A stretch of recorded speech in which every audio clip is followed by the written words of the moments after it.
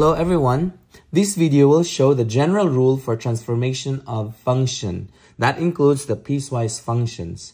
If y is equal to f of x is a function, then the equation in graphing form, transformations of this function, can be written as y equals a f of b of x minus h plus k, where our a, b, h, and k are parameters.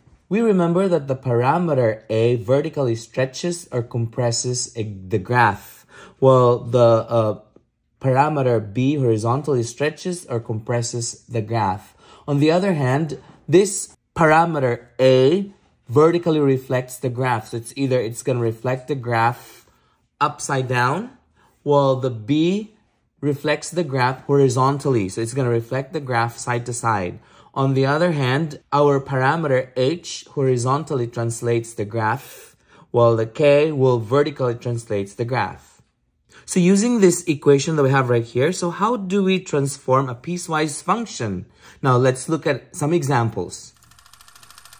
In this example, we are given the graph of f of x. Again, this is an example of a piecewise function. Our task for this part is to determine or sketch the graph of 2f of x. Our first step is to determine points or we call those lattice points on this function. Lattice points are points on the Cartesian coordinate plane where the values of x and y are integer. So an example of a lattice point would be this dot right here. This is called lattice point because our x value here is negative 8 while, our y value is negative 3.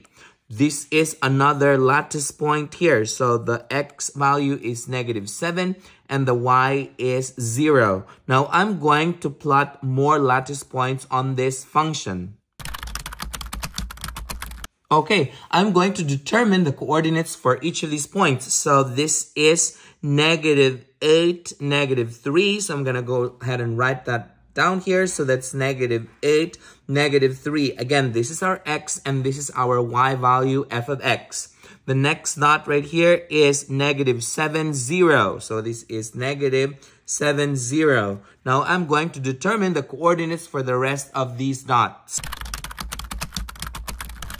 Okay, since we wanted to sketch the graph of 2f of x, what are we going to do is I will write it down here. And this column right here would be for 2f of x. To determine the values for each of these boxes here, we are going to multiply this f of x by 2, or we will double it. So 2 times negative 3 is negative 6. 2 times 0 is 0.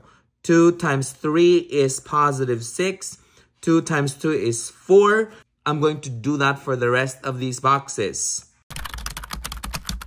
Okay, the next task is to sketch the graph of x and the 2f of x. So that means I'm going to put the dot for negative 8, negative 6. So negative 8, negative 6, the dot is going to sit right here. The second dot is negative 7, 0. So that's negative 7, 0 is this dot. The next dot is negative 6, positive 6. So that goes all the way up here.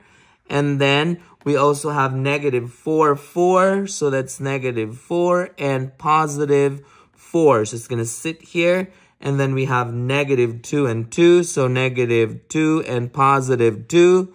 And then we also have negative 1 and 4. So negative 1 and positive 4. And then we have 0 and 6. So 0 goes all the way to 6. And then we have uh, 1 goes through 8 and it's going to sit right here. And then the last one is 2 goes to 10s. It's going to go up here. And we will connect the dots together. If you notice, our value 2 or the coefficient 2 here corresponds to the parameter A. Remember that parameter A vertically stretches or compresses the graph. In this case here, this graph was vertically stretched. So looking at this graph right here, our original function is f of x, and this original function was vertically stretched. Just imagine if this original function were a rubber band, this graph, if this were the graph here, it, it was actually vertically stretched. That's the reason why the graph looks a little skinny. The red graph looks skinnier compared to that of the original graph.